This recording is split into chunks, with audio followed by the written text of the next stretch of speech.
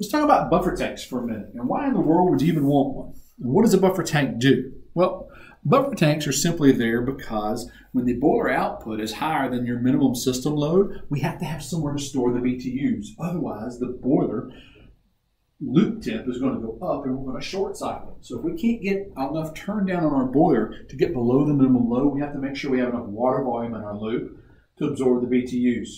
Again, typically it's not a problem, but every once in a while we can run into an issue. And so we want to make sure you understand where to put the buffer tank and how to size for it.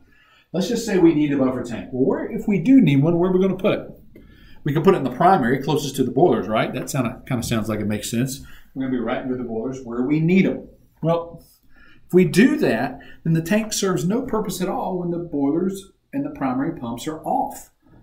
Well, we all our load is out in the secondary loop, and so if we're pulling out BTUs there, but we don't see the buffer tank, the secondary loop doesn't pull out of the buffer tank, then we won't be able to use that buffer and those BTUs, and so the buffer tank won't serve any purpose.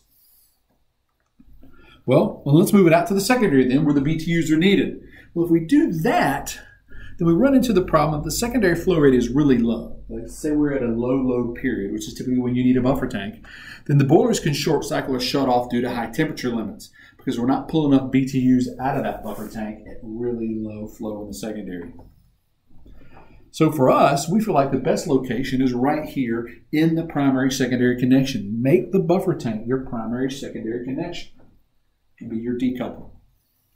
When we do that, then the boilers can see the tank and the secondary loop pump can see the tank and everyone gets to use and benefit from that big buffer of water. It provides that system volume to the boilers even with the really low secondary flow rates.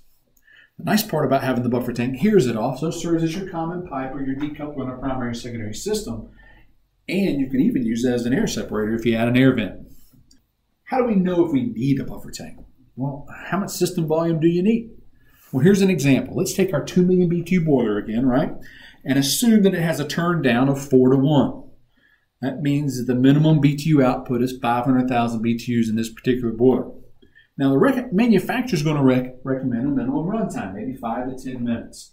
We say 10 minutes just to prevent short cycling. We would like for you to bring the boiler on and allow it to run for a few minutes. Don't short cycle equipment, that ruins equipment. So, here we are with our 104 degree set point again, and remember our 12 degree temperature control operating range. 146 degrees the boiler cuts off and 134 degrees the boiler cuts on. And let's assume a minimum load of about 50,000 BTUs. Now, if you don't know what your minimum load is or you don't want to calculate it, assume zero. It's a great assumption. It will not get you into trouble. You might have a bigger buffer tank than necessary, but you won't be short the equipment and ruining the warranty. So how do we figure out the system volume? Well, we're going to take that runtime we want, that 10 minutes, and we're going to take the difference between the minimum output of the boiler and the minimum load, and we're going to multiply those two. Now we'll take the tank temperature rise, which is that 12 degree operating range, remember not our delta T on the design, times our constant 8.33 times 60 or 500. And here's our answer. In this particular instance, with a 4 to 1 turn down, a 2 million BTU boiler, our system volume needs to be 750 gallons. So we can absorb all those BTUs when the boiler's at its minimum fire and we're at our minimum load. We've got to have a place to put that extra 450,000 BTUs. If you only have 600 gallons in your storage, in your volume, calculated in your loop, then you might need a 150 gallon buffer tank here to keep yourself out of trouble.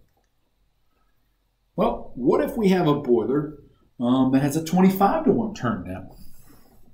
Interestingly enough, we sell those. 80,000 BTU minimum output. Well, same 10 minutes of runtime, same system operating parameters, 140 degree set point, 134 the boiler cuts on, 146 the boiler cuts off, and our minimum load hasn't changed at 50,000 BTUs, but now we have a difference of 30,000. Where do we put those extra 30,000 BTUs? We run our formula again, and we figure out that our minimum system volume in this particular application is 50 gallons. Could be the same exact system, same exact loads, same 2 million BTU boiler design, one has a high turn down rate and one doesn't. So keep in mind here, our fire tube product has a very large turn down rate, typically here 25 to 1 in certain sizes. Our water tube product has a lower turn down rate, 4 to 1, 5 to 1, which is often the case with lots of products out there. So if you specified a fire tube product and accepted a water tube product, you might not get the turn down rate you were expecting, and you might need to add a buffer tank. Keep in mind too that the water tube products don't hold as much water as the fire tube products. Thanks for listening, and if you have any questions, look us up at jmpco.com. Thank you. Bye bye.